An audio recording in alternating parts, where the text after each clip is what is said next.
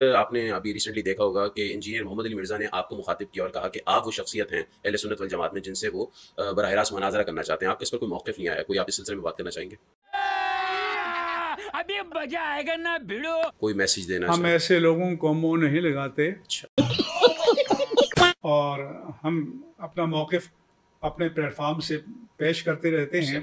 सरकार यही बात तो हम कर रहे हैं। ऐसे लोगों को ये शौक होता है कि ये सब लोग हमारा नाम लें तो हमारी और शहरत हो और लोग मुतवजे हों तो इसलिए उनकी ये ख्वाहिश कभी पूरी नहीं होगी। ये नस गया जे। और नस गया जे। और डर गया ही होए हाँ हूँ मीम्स बढ़न गया। और डर गया ही होए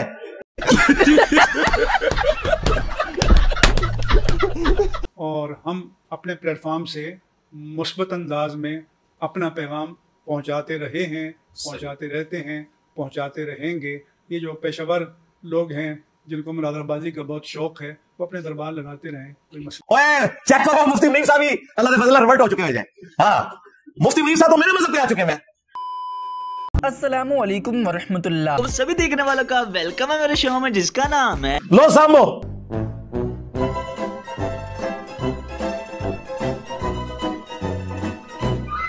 अभी ये साहिल अदीम के साथ जो कुछ किया है पीटीए वालों ने। बेटा बता रहा हूँ ना लिखो ना बेटा नहीं मुझे अबू को पहले कहो अबू फिर लिखूँगा कहो अबू। अपनी औकात में रहा करो। बेवकूफ़ कहीं के। हाँ ये है आपकी ये है असल में बात यहाँ तक मिलाना चाह रहा था यहाँ तक मिलाना चाह रहा था। तुम तो बत्तीसी दिखा रहे हो थोड़ी तारीफ़ कर दो क्या? आपको मतलब यहाँ तक लाना चाहता था इससे आगे तो मुझे बेटा कह रहे तो अगर बेटा कह रहे तो अबू क्यों नहीं कहते? ठीक है वो बेचारा को उसको डिग्रेड करने के लिए बेटा नहीं बोल रहा था। वो उसका तकिया कलाम है, जो टीचर्स होते हैं ना, उनको आदत पड़ जाती है। इवन उनके हम उम्र भी को बंदा सामने बैठा हो ना, वो फ़िल्म उनकी ज़ुबान से निकलता है, बेटा, यू नहीं, यू है। ये बेटा वो वाला नहीं कह रहा होता, जो आप वो पंजाबी में किसी को तंग करने के कहते हैं, पुत्र, मैं तेन वेख लेना। ये वो नहीं होता। ये टीचर्स के अंदर आ जाती है। उसमें उसने कहा, उसने बजाय उसकी बात सुनने के उसका वो जुमला पकड़ लिया, उसने कहा तो मुझे अबू बोल। तो भाई तेरे में फिर उसमें क्या फ़र्क रह गया? बकौल तेरे, अगर वो तेरी तोहिन कर रहा था तो तूने उससे बड़ी बात की कि मुझे अब्बू बोल। तुझे तो चाहिए था कि देखे मैं भी आपको कह सकता हूँ आप मुझे अब्बू बोले लेकिन मैं ये काम नहीं करूँगा। फिर तो मैं आपके साथ खड़ा होता कि यार आपने उससे अच्छे अखलाक का मुजाहरा किया। तुमने तो उससे भी बुरे अखलाक पेश किए। इस्लामाबाद में बैठ के इसराइल की बात करते हैं यहाँ बाहर हैं आपको बताऊँ इसराइल फलस्तीन होता गया आप इसराइल के अच्छा। पाँच शहरों के नाम बताएँ। बताएँ मुझे इसराइल के पाँच शहरों के नाम। अभी पाँच अच्छा, नाम बताएँ इसराइल के शहरों के। उसके बाद उसके बाद उसके बाद मैं पूछता पाँच शहरों के नाम बताओ। फलस्तीन के पाँच शहरों के नाम बताओ। बेटा बात सुन ले ध्यान से अब मैं ये गलत बताई गई अबू कहो अबू। साले तू बोल इसराइल के पाँच शहरों के नाम बड़ा इसराइल इसराइल करता है नाम बता पाँच शहरों के नाम बता फलस्तीन के पाँच शहरों के। मैं तुम्हारे बाप का नौकर नहीं हूँ। कर गूगल जल्दी कर गूगल बात सुन ध्यान से। तुम जो है वो फलस्तीन के पाँच शहरों के नाम बताओ। अल्लाह के बंदो ये इसी तरीके से खादम रिजवी कहता जी मैं जड़ा वो जजा को दुआ कनूत सुननी है। हालाँकि इनसे हम दुआ कनूत सुने इनको भी नहीं आती है। जो दुआ कनूत पढ़ते हैं कनूत नाजला की है। जो दुआ कनूत असल है जामिया तिरमिजी में अल्लाह मखदीनी फ़ी मन दई कोई ना नहीं आती। जब तक याद ना की हुई हो। इस तरह होता है यार। किसानों के नाम बताओ। भाई इशू को डिस्कस करो। ये कोई तरीका नहीं होता। इशू को डिस्कस करो और फिर उसे तरीके से गुफ्तू करो। लेकिन अगर आप बैठे हुए इसके लिए, मैं बुला के किसी को बेजत करूँगा, उसका मज़ाक उड़ाऊँगा और फिर मैं जो है वाह करूँगा, फिर बाकी लोग भी उस पर वीलाग बनाएँगे देखा जी, साढ़े लीडर के खिलाफ बोले, ऐसी करता है कर देता, वो कर देता। एक एक करके मैं आपको बता रहा हूँ एटलीस्ट जो यंग जनरेशन मज़हब के साथ जुड़ी हुई है ना, एक एक करके, इन यूट्यूबर्स की वजह से और पीटीए के जो फ्रंट मैन साफी बने हुए हैं सो कार्ड इनकी हरकतों की वजह से, एक एक करके लोग इमरान खान से मुतनफर होते जा रहे हैं। ज़ाहिर है मजहबी बंदे ने तो पहले दीन को देखना है। सीधी सी बात है उसके लिए बाकी चीज़ें बाद में। जब आप दीन के साथ इस तरह करेंगे तो ये कोई आप खिदमत नहीं कर रहे आप अपने लीडर की मुश्किल में इजाफा कर रहे हैं। सीधी सी बात है। इतने यार आप आप गुस्सा थूक दीजिए सुन। गालियाँ मैंने खाई हैं फिर भी मैं आपसे कह रहा हूँ गुस्सा थूक दीजिए गालियाँ मैंने खाई हैं ठीक है? आपसे मैं कह रहा हूँ गुस्सा थूक दें सुन। मैंने आपने अब क्या? क्या बोला तूने? पहले क्या बोला? नहीं मैंने दी मैंने आपको आपने अब कोई बात नहीं। हम बताएँगे। अच्छा अच्छा बेटा आपकी ना जब ऑडियंस ये प्रोग्राम देखेगी ना तो सबको पता चल जाए। तमीज किसने दिखाई है? अब बेटा का ना बेटा किसको शर्म से बात किया आपको किसने आपको यार दीन का सिखाया? ना मुरादा। अबू आपने कहा ना गाली होती है ना कोई पता। कोई बात नहीं। तो बेटा क्या स्वाब है? यार। बेटा प्यार से कहते होते साहब पाकिस्तान में हम क्या हो गया? आपको बदतमीज से नहीं कहते और काजमी साहब मैं माजरत चाहता हूँ। आपका दिल दुखा मैं माजरत चाहता हूँ। वो बाद में कहता रहा जी मैं माजरत करता हूँ। काजमी साहब आप सुन ले सुन ले। लेकिन वो तो जरा पूरा तय करके बैठा हुआ था। ठीक है? एक अपने लीडर की मोहब्बत में खाम खाए बंदे को धोखे से अपने चैनल के ऊपर बुला के इस तरीके से उसे बेजत करना। और वो जो एंकर है ना जिसने सैलदीन के साथ ये कुछ किया उसके साथ जो मैंने किया था ना वो भी आप देखें। फिर आपको चलेगा जब इन्हें टक्कर के लोग मिलते हैं तो उनके साथ क्या करते हैं? इनके पाँच बड़े बड़े जो यूट्यूबर थे ना एक एक को बुला के जब इन्होंने मेरे फ्रेंड चलाया था नवंबर 2023 में। एक एक के साथ जो मैंने की थी ना, वो वही कुछ की थी जो शाहजेब खान ज़्यादा करता है पॉलिटिकल लीडर्स के साथ। पूरी वर्किंग करके बैठा होता है। इसके साथ भी जो मैंने की थी ना, वो आप वीडियो देख लीजिएगा। तो हमारे स्टूडेंट है, अली इमरान बट उन्होंने वीडियो बनाई, मैंने उसके नीचे जाके कमेंट्स किए कि बिल्कुल आपने सही एनालिसिस किया इस केस में पीटीए वालों ने ज़्यादा की है साहिल के साथ। बाकी जो साहिल का मौकफ है इसराइल चाहता है टू स्टेट सोल्यूशन अमेरिका चाहता है टू स्टेट सोल्यूशन मुसलमान टू स्टेट सोल्यूशन नहीं मान सकता कभी। पता है ना आपको? तो इमरान खान को समझाएँ उसने स्टार्ट किया टू स्टेट सोल्यूशन आप बताएँ मुझे मैं शौकत खानम को चाटूं या इसराइल के बच्चे बचाऊं अपने? फलस्तीन के। जितने बंदे उसने बचाए ना तीस हज़ार एक दिन में मर गए मेरे बच्चे उधर। क्यों? ये टू स्टेट सोल्यूशन होना ज़रूरी है। इन लोग मैं आपको बता रहा हूँ उसमें मुझे भी उनसे इख्तलाफ है। इख्तलाफ है अपनी जगह लेकिन जब इस किस्म की आप ज़्यादा किसी के साथ करते हैं फिर मैंने हालाँकि मेरे साथ क्या किया इसने? इसने मेरी लाइफ वनरेबल की थी सालिदीन ने इसने कहा इसने आयरन डोम को हाफिजा उल्ला कह दिया, मैं तो ही कुछ और कर रहा था। तो फनून के तौर पे एक बात कर रहा था। इसने पकड़ के आधा क्लिप लेके तो मेरे ऊपर वीडियो बनाई। मैंने उस चीज़ का बदला नहीं लिया। मैंने कॉमेंट्स किए। कि नहीं यार, वो उसका जरफ था, हमारा जरफ यह कि किसी के साथ ज़्यादा होगी। हम कहेंगे कि गलत हो रहा है। ये कोई तरीका नहीं है कि आप इस तरीके से करें। हमें भी इख्तलाफ है साहिलदीन साहब के इस मौके के साथ, कि चूँकि वर्ल्ड वार टू को विन कर चुके हैं, जब कोई फाते कौम किसी जगह के ऊपर कब्जा करती है ना, फिर उसकी मर्ज़ी चलती है। उसके बाद दुनिया को उन्होंने अपने जेर साया कर लिया। उसके बाद कोई ऐसी बड़ी जंग नहीं हुई कि मुसलमान जो है वो सुपर पावर बन गया लिहाजा हमारा ये मौके है अगरचे मोहम्मद अली जना का उस वक्त मौके पूरे क्लास के साथ था कि इसराइल की रियासत को आपने तस्लीम नहीं करना। बिल्कुल सही मौके था, वक्ती तौर पर लेकिन मोहम्मद जना तो 1948 में फौत हो गए। 1967 में जो फाइनल जंग हुई है, पूरे अरब को शिकस्त दी है इसराइल ने, छह दिन की जंग में। तो जो हमें पहले मिल भी रहा था कि पैंतालीस फ़ीसद मुसलमान और पचपन फ़ीसद यहूदियों के पास, उससे भी हम रह गए। इसलिए पाकिस्तान ने बाद में अपनी पॉलिसी चेंज की है। बानिया पाकिस्तान की पॉलिसी ये नहीं थी टू स्टेट सोल्यूशन वाली। लेकिन पाकिस्तान की इस वक्त पॉलिसी यही है और मैं इसमें साथ हूँ।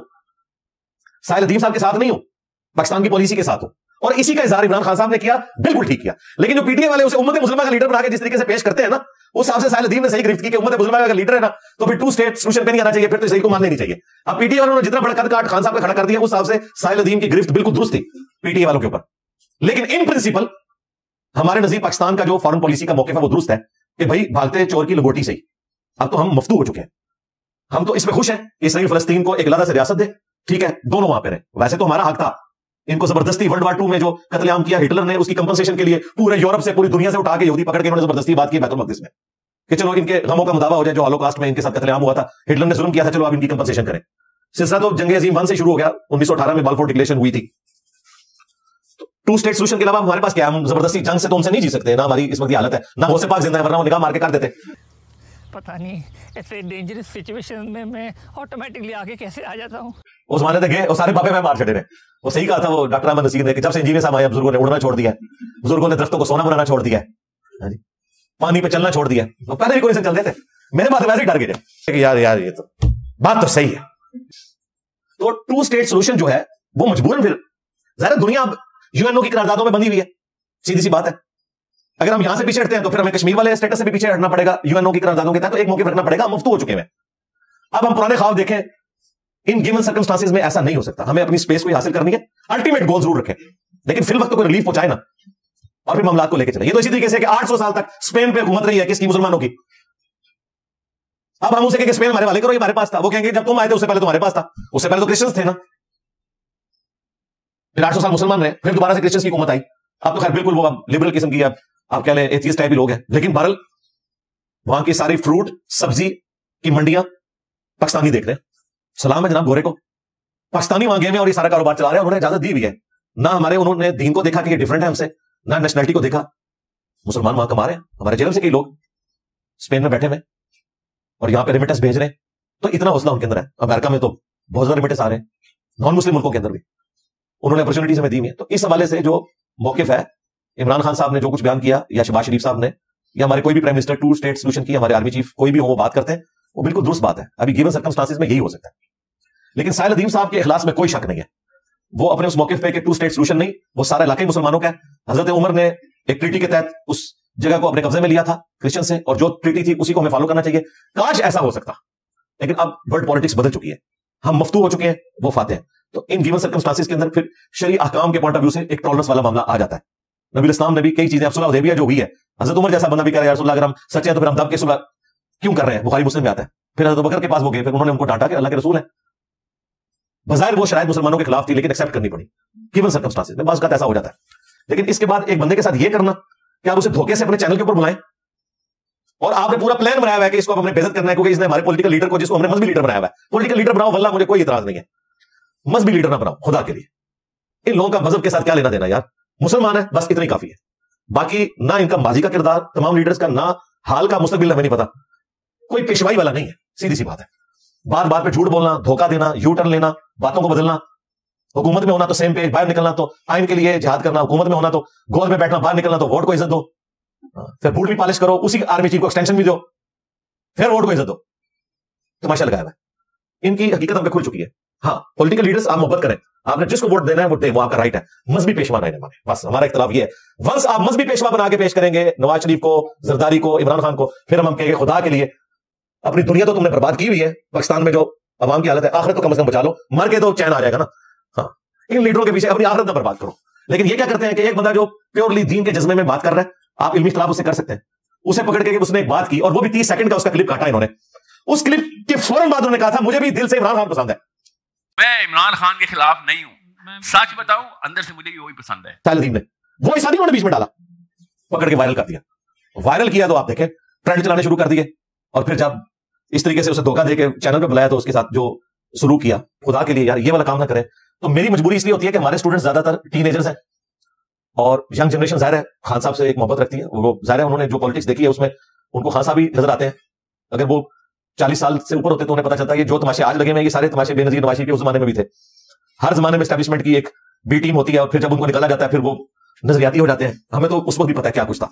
लेकिन इन बच्चों को नहीं पता। तो कम से कम इन्हें हम समझा नहीं सकते इस हवाले से तो कम से कम ये तो उनको बताएँ कि यार, अपना मजहबी पेशवा ना बनाओ इनको पॉलिटिकल लीडर्स है, रखो, मोहब्बत रखो, बिल्कुल सच्चाई के लिए खड़े हो और जिसको सपोर्ट करना आप ज़रूर करें, लेकिन इस कास्ट के ऊपर नहीं कि अपने मज़हब का नुकसान करें। आप किसी पीडीए के सपोर्टर का जो दीनी था ये काम नहीं बनता था कि वो साहिल अदीम के इस एक्टिविटी जो की उसके साथ, एक यूट्यूबर ने, उसमें वो कोई गाली गरोच करता या उसका मज़ाक उड़ाता। ये बिल्कुल ज़्यादा बड़ी बात है। इवन मेरा भी कोई स्टूडेंट आ रहा जी ए उदार थले आ गया साहिल अदीम उन्होंने चार गाला कड़ी, अपने साथ बदल। ना ना मैं ऐसे स्टूडेंट से दुनिया और आखिरत में भी लाने बरात करूँगा, जो मुझे बुनियाद बनाएँगे किसी के साथ मोहब्बत या दुश्मनी करने की। बिल्कुल। हम तो खुद भाई अपनी आखिरत की फ़िक्र में है। हमारे लिए दोस्ती और दुश्मनी का म्यार अल्लाह और उसके महबूब सल्लल्लाहु अलैहि वसल्लम की जात है। बिल्कुल क्लियर कट और ये मैं कुछ जज्बाती जुमले नहीं बोल रहा था ये मेरा अपना ईमान है, मैं एक लम्हे के लिए भी तस्वुर करूँ इस हवाले से कि मैं अपनी जात को आगे ले और दीन को पसे कुछ डाल दूँ तो मैं तो खुद अपने आप को जन्मी तस्वुर करूँगा। मैं आपकी आखिरत की फ़िक्र में बाद में पहले अपनी आदत की फ़िक्र में हूँ।